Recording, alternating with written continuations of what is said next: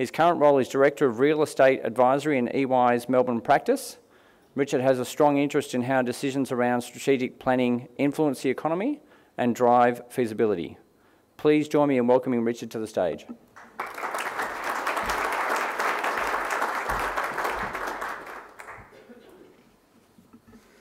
Well, thank you. And um, I'm very concerned I haven't put my uh, business cards down for those bottles of wine, so I'll have to find uh, where we actually put them a bit later. So, look, today I'm going to talk about some of Melbourne's sort of key existing mixed-use precincts. Um, and I'm also going to discuss what, what mixed-use development is in, really is in a Melbourne context, because it's quite different to situations overseas. The, the mixed-use development concept's really only just starting to sort of emerge in reality in some of our locations in Melbourne. And I'm also going to conclude with a bit of a tour around Melbourne of the future opportunities and some of the challenges um, in delivering mixed-use development.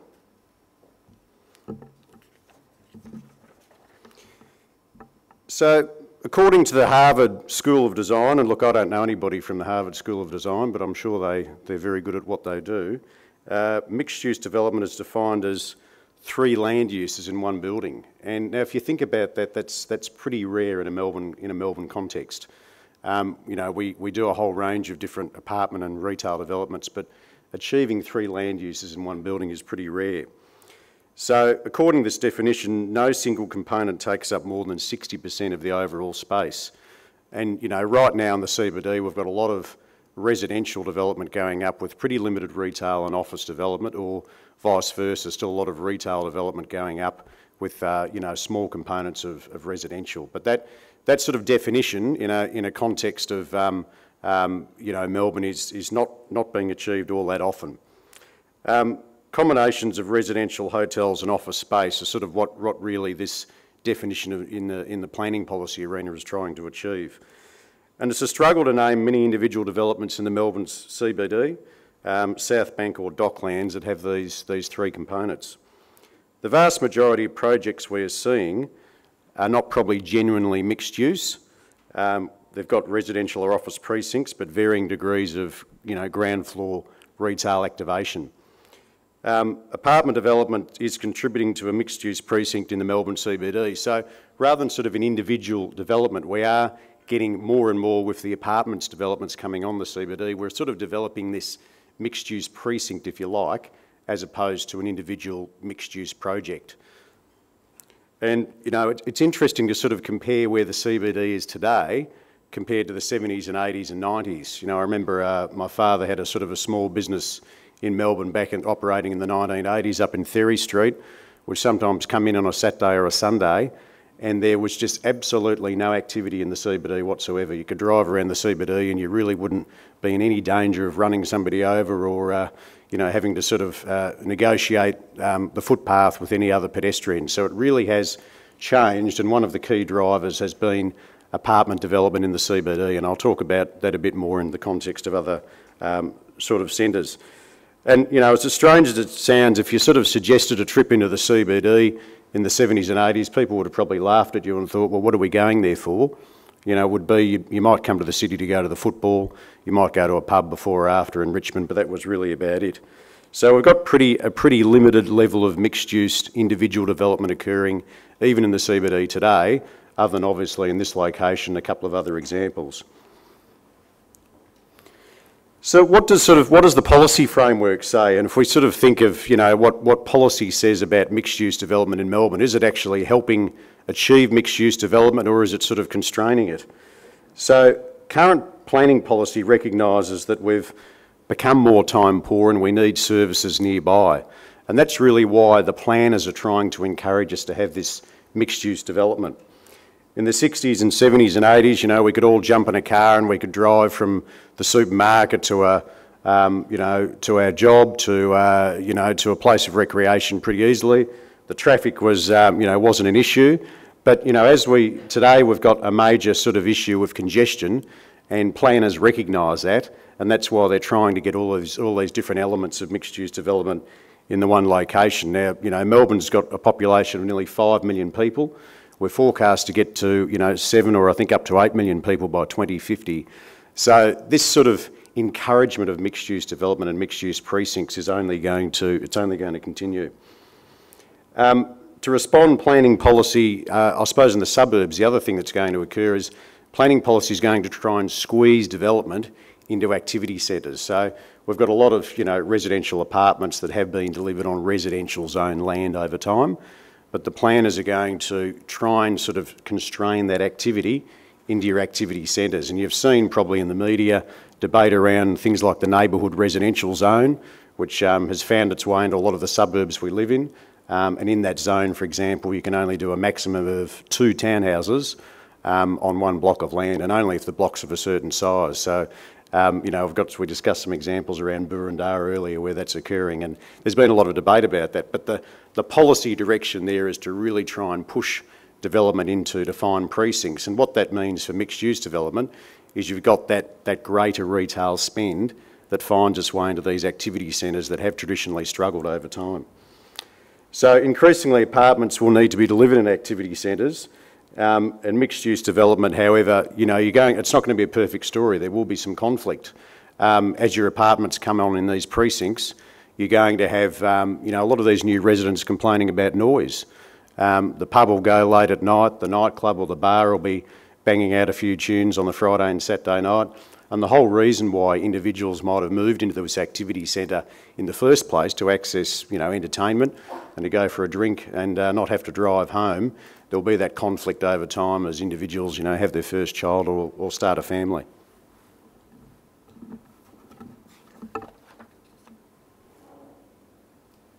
Oh, I've fixed the wrong button. That's not smart of me. How do we get back? Play? There we go. I've worked it out. So, sort of in thinking about our current mixed-use nodes, um, you know, where are the current precincts? Where's the action actually happening? And some of the current examples, as I've discussed, um, we've got a few in Melbourne that, you know, have been delivered over time and probably are what you describe as genuine mixed-use development. So, uh, QV in Melbourne, um, you know, obviously a large supermarket, in fact, the largest Coles in Australia, an anchoring development at the, in sort of in the basement of that shopping centre discount department stores, a large volume of specialty retail, and office development in that precinct as well. BHP was, you know, obviously the, um, had their headquarters there until uh, relatively recently. So that's sort of, you know, it's, I think it's around 10, 12 years old now, QV, but that's, you know, an example of a genuine mixed-use development in, in the CBD. Um, we've also got obviously Crown Casino, which, um, you know, hasn't got obviously the apartment development, but has hotels, um, and obviously entertainment facilities and a, and a large volume of retailing in that location. Um, Docklands is a bit different. It's broken up into sort of a whole host of sort of different precincts, but you can you could argue it's operating as a mixed-use precinct with the retail offering, the residential offering, and certainly um, a, a, large volume of uh, you know office and, and, and, employment relative to the residential um, development that's uh, that exists there. So Docklands is actually gets a lot of criticism, but in terms of the job to resident ratio in providing local employment for residents, it certainly is ticking boxes as a as a mixed use precinct. We've got that mix of, of residential and uh, and uh, and um, labour force there. Um, we've also got some of our traditional major shopping centres adjusting over time, and it was interesting hearing about Chadstone before um, um before I sort of started the discussion today. Um, you know, Chadstone, obviously traditional retail centre, um, and you know, I used to shop there with the family when you know years ago in the 80s when um, it obviously was completely dominated by retail. But Chadstone now, to increase its catchment, to increase its competitiveness in the region, um, has got a hotel that's going up in that location and some office development. So anyway, any of these shopping centres can have different uses and attract people for more time. Um, and even things like you know government departments, I think we'll see those mix of uses develop uh, over time.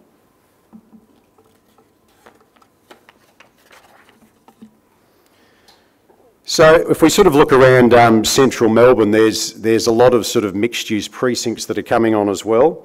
And there's a number of existing urban areas where um, we'll see this development changing over time. Each of the precincts around central Melbourne, and this is sort of out of the old version of Plan Melbourne, but you've got, obviously in part from Fisherman's Bend, you've got Arden Macaulay and you've got E-Gate operating there as two of the really major precincts that aim to deliver mixed-use development and a whole host of components over, over time. Um, Arden Macaulay is sort of effectively split into two stages, but the existing state government's got, um, you know, has made a lot of positive noises about moving Arden Macaulay forward as a development precinct. The first stage is sort of scheduled to uh, go through a planning process and be rezoned relatively quickly. Um, and then there's a stage two in Arden Macaulay post 2025, and that's, that's sort of designed to be in line with the new Arden station as part of the Melbourne Rail Link that will come on around that time. But Arden Macaulay is probably going to be a very attractive area because Fisherman's Bend's going through a bit of a debate and the current government's probably, you know, um, going through a bit of a process with Fisherman's Bend that'll take time to be resolved. E-Gates as well facing a few challenges. Um, the Western Distributor project will probably cut somewhat through that E-Gate um, site um, and there'll have to be some thinking around what that actually means for E-Gate as that's, as that's delivered as a major project. Just quickly on in relation to Fisherman's Bend too, um, the, you know, one of the main issues that all need to be resolved in terms of Fisherman's Bend is the extension of a, a tram service from the CBD into Fisherman's Bend. So until that public transport link is resolved, the previous government proposed having a Melbourne rail link, um, you know, via Fisherman's Bend. But until that transport link can be resolved, you really, the only primary demand for Fisherman's Bend is probably going to be for you know residential apartment style development. So it's important that that you know that that transport link is actually resolved in Fisherman's Bend. If we look at sort of Main Street retail and some of the current examples too, we're actually seeing some really good um, outcomes actually occurring in the suburbs. And the little sort of map over there on the right has just recently been released by the Department of Planning in one of their research reports, and it actually shows the the sort of the incredible sort of links between apartment development along the tram network, and it's been quite sort of a long-standing policy of the state government to have that apartment development along the tram network, and we're seeing that sort of resulting in significant activity there now. Um, some of the main sort of precincts that are sort of going through that change and working pretty well include um, Smith Street, Collingwood, um, and a mate of mine's just actually bought an apartment in that Coles development there, um, just above Smith Street, Collingwood. But that's Smith Street, you know, 10 years ago, even as recently as six or seven years ago, the retailers were really struggling in that location. Um, a lot of competition from CBD retail, but now as those, every, every time, uh, you know, a state agent's saying as one of those apartment developments get, um, reach, reaches completion, the new residents move in, you know, there's really good leasing activity in the retail sector that's coming on in that location. If you compare that to sort of Fitzroy Street in St Kilda, the planning framework for apartments there has been a bit more constrained. There's mandatory height limits. There's not as much activity occurring, particularly down the beach end of Fitzroy Street. So that street has really sort of struggled in terms of its, its retail sector there. Are a lot of large bars and restaurants where, where the catchment and the, uh, you know, the, the buying power of residents has, has shifted to other locations. So, you know, each of these primary traditional Main Street activity centres are going through uh, different phases, but one of the key drivers really is the, the level of apartment development that drives um, you know, the retail sector, produces the bars and cafes, and then of course the buyers uh, and the young residents come in and want to move in that area and live in that location to make a, a mixed-use precinct effectively work.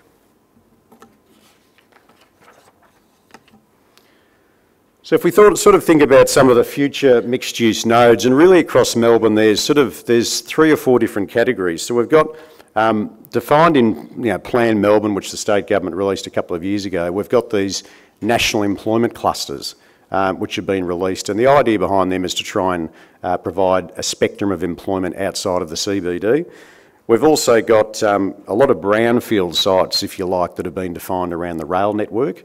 So those, um, they're designed to actually take advantage of public transport. And then we've got a, a range of future mixed-use nodes in the growth areas. So if we just touch on those, the, probably the key one that the Metro Planning Authority is doing a lot of work on at the moment is uh, what they call a Monash National Employment Cluster. Um, and this is, a, this is sort of a location that um, really has a lot of competitive strengths. It's been operating as a light industrial precinct for quite some time. There's been a lot of campus-style office development there more, more recently. You know, you've got Australand or Fraser's Properties head office there, you've got BMW Australia, so a whole host of sort of um, you know, head offices and administrative centres for national and some international companies operating in this precinct. Um, the precinct accommodates um, you know, a range of different employment assets and we're seeing that growth continuing. Um, but we've also got Monash University in the, loca in the precinct there and of course um, you've got the, uh, the Clayton campus of, um, of uh, the Monash Medical Centre. So this is really an area that you know the state's going to focus on over time, and it's got sort of I think a, a great sort of opportunity providing um, you know additional sort of employment growth, but also there will likely be some precincts in here where you have residential development, and logically there will also be retail development delivered in this precinct over time. It's not directly connected to public transport as in the rail network at the moment, um, but of course there is the proposed uh, Rowville, Rowville rail link that, um, that would you know, run along um, Huntingdale Road and connect, um, connect this precinct to uh, the Dandenong rail line. One of the other sort of primary ones the state government's focusing on, and this is actually state-owned land that's been sold off and is going through a, through a process at the moment, is uh, East Werribee. Now, this is very different to Monash. It's 20 k's from the CBD. Um, you know, apartment development and and um, you know retail development of certainly the mixed use nature is probably going to take some time to mature and deliver in this location. But it's absolutely critical for this precinct to you know play a role in providing employment in Wyndham. You've got a population through Wyndham and Geelong of you know probably close to about 500,000 people ultimately that'll be delivered. And without employment, you're just going to have this appalling situation of traffic, you know, on the freeway coming into Melbourne. So it's going to get this is one of the sort of the state's, I suppose, solutions to try and provide jobs um, and retailing in a, in a precinct that is experiencing, you know, absolutely rapid um, population growth. You know, we've heard stories in Sneydes Road and some of the key sort of um, links onto the freeway of people taking half an hour just to get on the M1, let alone the time it takes them to actually get into the city. So this is a key, key precinct that will play a role in sort of changing the, uh, I suppose, the course of development through Wyndham.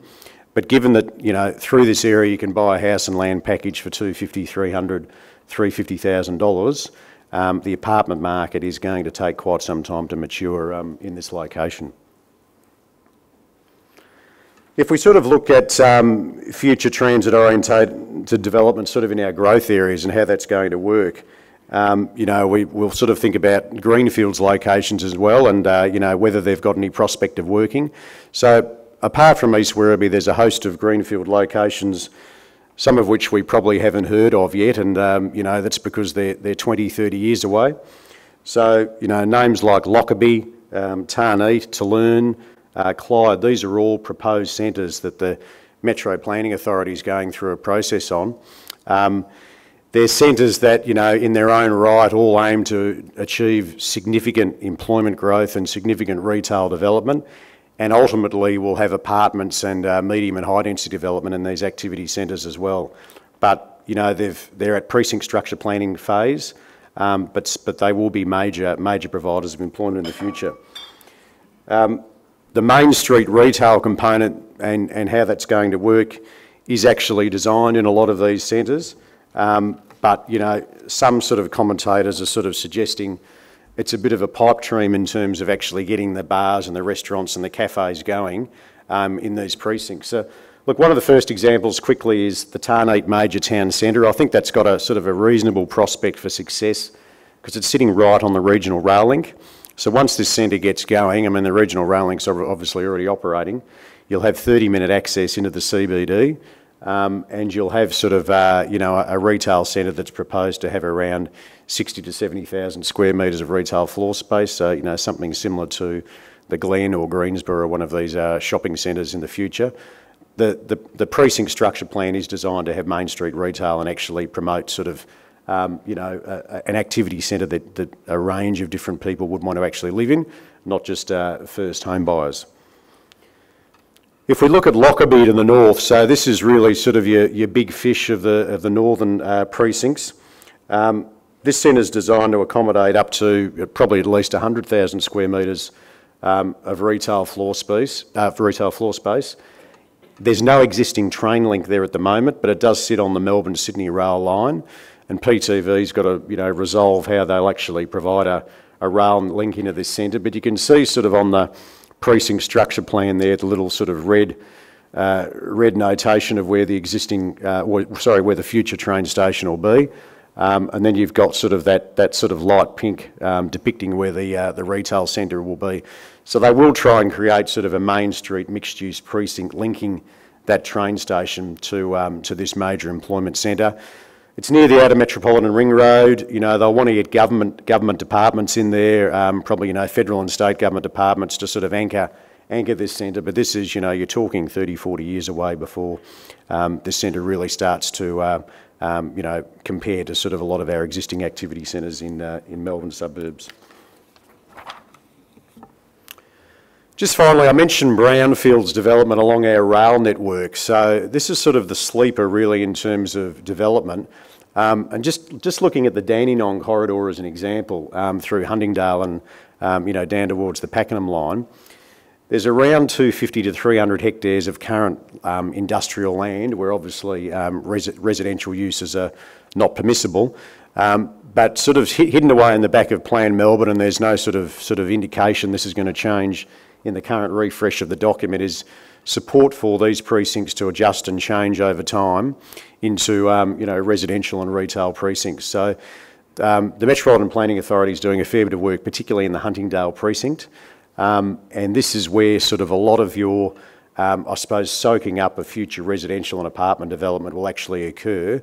Um, you know, as, as residents in these areas continue to complain about apartment development on residential zone land, um, Brunswick and Coburg in the north is another example um, on the upfield line where you'll see a lot of your light industrial precincts trans transform over time. So traditionally a lot of the local councils in these areas have pushed back a bit. They've said, no, we want the industrial land, we want that local employment. But a lot of the factories and sites, um, you know, here are becoming vacant over time. It's sitting on top of a rail system so that, you know, Planning 101's effectively dictated that um, in the medium term, these precincts will become um, another source of mixed-use development in the future.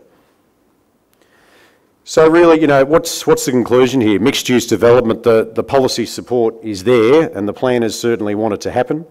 Um, we do have a large number of precincts that are being delivered in central Melbourne, um, you know, successfully as, as mixed-use development. But, you know, the individual developments as individual sites delivering mixed-use development in the uh, in the theoretical sense are still sort of uh, relatively rare. Um, but I think, you know, the cost of congestion and commuting over time is just going to continue to mean that, um, you know, the development sector is going to have no choice. Um, the, you know, mixed-use development is going to really be the only choice we'll have in the future that will actually work. Thanks.